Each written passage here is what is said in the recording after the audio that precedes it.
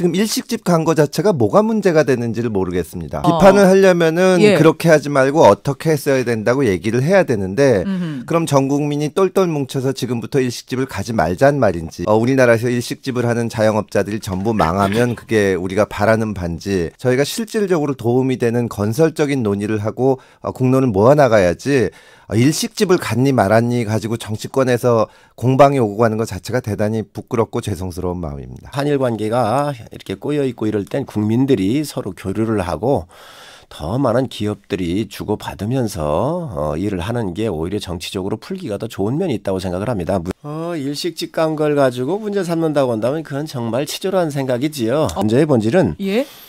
사케를 마셨는가 안 마셨는가 이 이중성에 대한 문제지요. 불매 운동을 하고 거기에 기름 붓고 국민 감정에 많은 예.